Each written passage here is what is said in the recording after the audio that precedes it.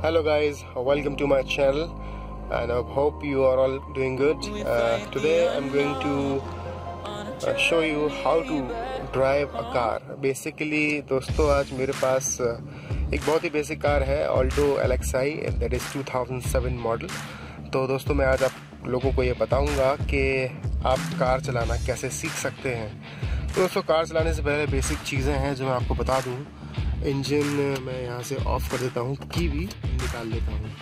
तो दोस्तों बेसिकली कुछ आइटम्स होते हैं हमारे पास। जैसे कि सबसे पहले आप देख सकते हैं कि हमारे पास यहाँ पर स्टीयरिंग है। This is the steering and this is a gear तो दोस्तों गियर पैटर्न जो होता है जो हर गाड़ी का लगभग सेम ही होता है। कुछ एक आध गाड़ी ऐसी हैं जिनका कुछ अलग गियर पैटर्न होगा यहाँ पर। ये ऑक्स केबल है, इसको मैं इधर रख देता हूँ। ओके नाउ तो आप देखिएगा कि गियर जो है, इसका फ़र्स्ट गियर है वो ऐसे इस तरफ़ पड़ेगा और जो दूसरा गियर है वो इस तरह पड़ेगा और जो उसका तीसरा गियर है वो सिंपल आपको आगे ले जाना है। चौथा गियर जस्ट पीछे ले जाना है और पांचवा गियर आपको इस तरीके से ये पड़ जाएगा। तो गाड़ी चलाने से पहले आप थोड़ी सी गियर की बातें जो है वो जान लीजिए।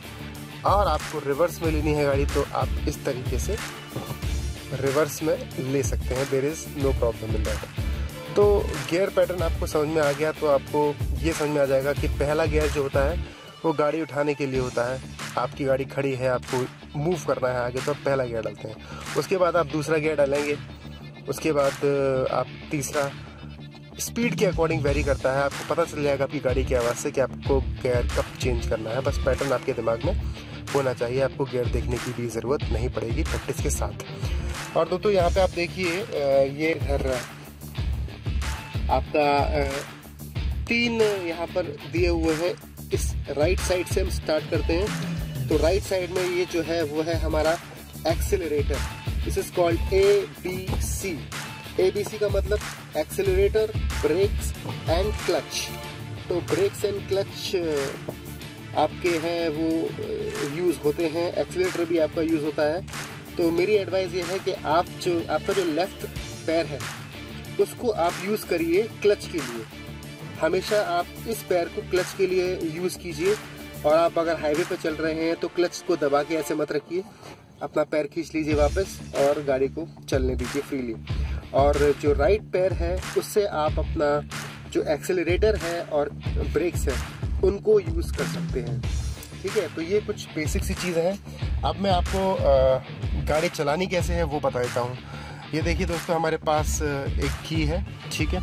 इस की को हमने यहाँ पर जो पोर्ट है, आजकल कीले सेंट्री भी आने लगी है नई गाड़ियों में। तो हम बेसिक से स्टार्ट कर रहे हैं, अगर आप बेसिक गाड़ी चला सकते हैं तो आप कुछ भी चला सकते हैं। तो यहाँ पे हमने इसकी को लगाया, उसके बाद यहाँ पर ये देखिए आप की को लगाने के बाद हमने यहाँ पर इंजन ऑन किया। उसके बाद आपकी गाड़ी गियर में है या नहीं, आप क्लच पे पैर रखिए और स्टार्ट कर दीजिए। देखिए, यहाँ पर मैंने क्लच पे पैर रखा हुआ है, क्योंकि मेरी गाड़ी गियर में थी।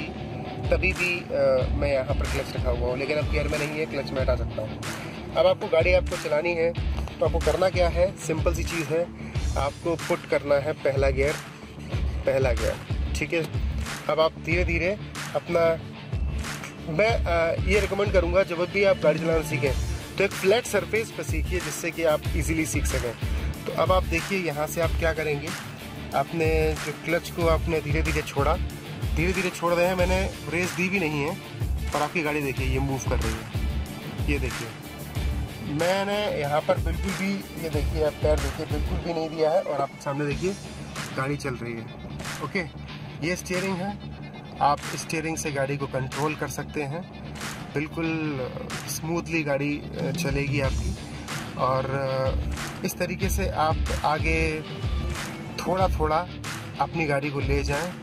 और जिस तरीके से आपको मूव करना है, उस तरीके से आप मूव कर सकते हैं। देखिए, यहाँ पर वॉल है सामने तो मैं इसको स्टीयरिंग को मूव कर लेता हूँ।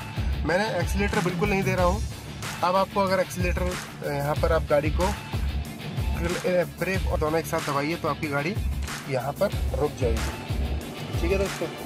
तो मैंने अभी ये ब्रेक दबाए थे, और क्लच मेरा दबा हुआ है, गाड़ी गियर में है। अब आपको गाड़ी चलानी है रेस के थ्रू। तो क्लच को थोड़ा थोड़ा छोड़िए और रेस को थोड़ा थोड़ा कीजिए। तो देखेंगे कि आप अपनी गाड़ी को आगे मूव कर पा रहे हैं। और उसके बाद आप सेक, आप सेकंड गियर में गाड़ी चला सकते हैं और आगे जितनी भी चलाना चाहे चला सकते हैं। तो दोस्तों ये गाड़ी चलाने का सबसे आसान तरीका था जो मैंने आपको बताया था। इसमें आपको एक्सीटर की देने की ज़रूरत नहीं है और आपको ये ध्यान में रखना होगा कि आप फ्लैट सरफेस पर गाड़ी चलाना सीखें क्योंकि आप पहली बार चला रहे हैं। दोस्तों अगर मेरा ये वीडियो पसंद आया हो तो please like share and subscribe to my channel thanks for watching